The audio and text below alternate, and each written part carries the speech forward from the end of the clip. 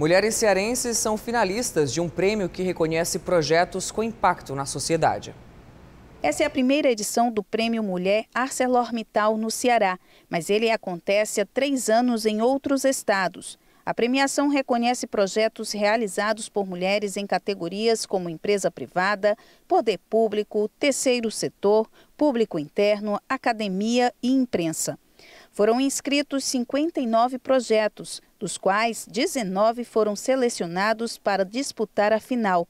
Entre eles está a agência de viagem desta empresária, dedicada ao turismo nacional e internacional em família, incluindo pessoas atípicas. Quando saí da empresa onde trabalhava, nasceu aí essa necessidade de investir em um negócio que tivesse como público a família. Nós não pegamos algo que já está pronto, nós planejamos algo para você mesmo. O projeto desta psicóloga, que une gastronomia e terapia no bairro Bom Jardim, em Fortaleza, também está entre os finalistas especialistas. É um negócio social e hoje acolhe mulheres que chegaram do movimento de saúde mental com depressão, ansiedade, síndrome do pânico e a gente ofereceu uma oportunidade de cuidado com a gastronomia, tendo a cozinha como lugar de cura e geração de renda e empreendedorismo. Com isso, nos reunimos, temos hoje um grupo de mulheres que criou um buffet chamado Jardino, em homenagem ao Bom Jardim, e hoje fazemos serviço de catering para toda a cidade, onde todo o lucro vai para essas mulheres e também sustenta as ações do movimento de saúde mental.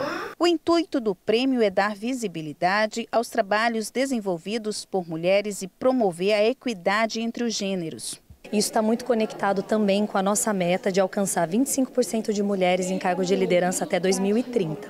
Então a gente está aqui empoderando essas mulheres e abrindo novas, novas oportunidades e também inspirando outras mulheres para esse caminho. Aqui as mulheres finalistas do prêmio participam de um curso de formação e uma troca de experiência. E as histórias são inspiradoras.